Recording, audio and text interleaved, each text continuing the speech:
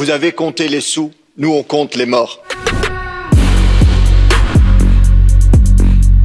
Sinds maart strijden wij hier binnen in het Europees Parlement om van het vaccin een public good te maken. Hier zijn vijf redenen waarom dat belangrijk is. Omdat we met belastinggeld al het onderzoek en de ontwikkeling van dat vaccin betaald hebben. Net als een deel van de productiecapaciteit. Il vaccino, anche se pagato, sviluppato con soldi nostri, rimarrà proprietà dell'azienda. We are paying three times for a vaccine, and that would be terrible and unacceptable, really. Van het vaccin een public good maken betekent ook geen geheime deals met farmaceutische multinationals. En dat stimuleert vertrouwen. Vous avez signé de très gros contrats avec l'industrie pharmaceutique. Et quand les citoyens européens vous demandent de voir ces contrats, vous répondez qu'ils peuvent aller voir ailleurs, que vous n'avez pas de compte à rendre. On ne peut pas voir le- les noms des négociateurs, on ne peut pas voir les contrats, rien du tout. Un nom est sorti, c'est Richard Bergström, qui négocie aujourd'hui pour la Commission euro- européenne avec les entreprises multinationales pharmaceutiques.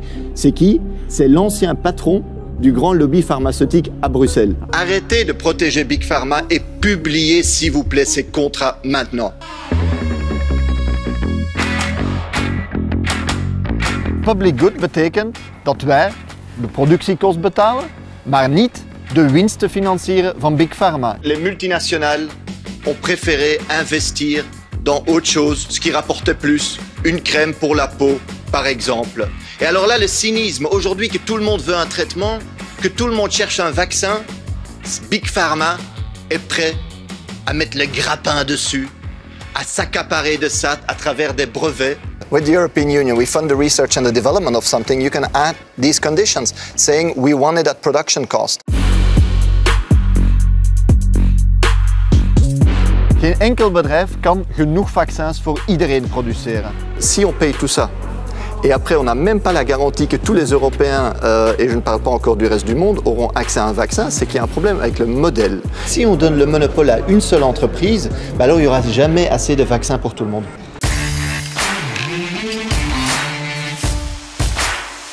De voorzitter van de Europese Commissie, Ursula von der Leyen, beloofde het.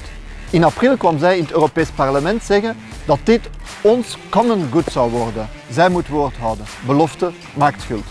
This vaccine will be our universal common good. En daarom moeten wij vandaag de Europese geneesmiddelenwetgeving aanpassen. En dus wij zeggen van kijk, als dat publiek gesponsord wordt, ja, dan moet het toch ook gewoon publiek eigendom zijn. Hè? Dat zijn de redenen waarom ik het Europees Burgerinitiatief ten volle steun. Laten we de commissie verplichten haar woord te houden. Parce que la question aujourd'hui, c'est est-ce que nous voulons être du côté de la vie ou du côté du profit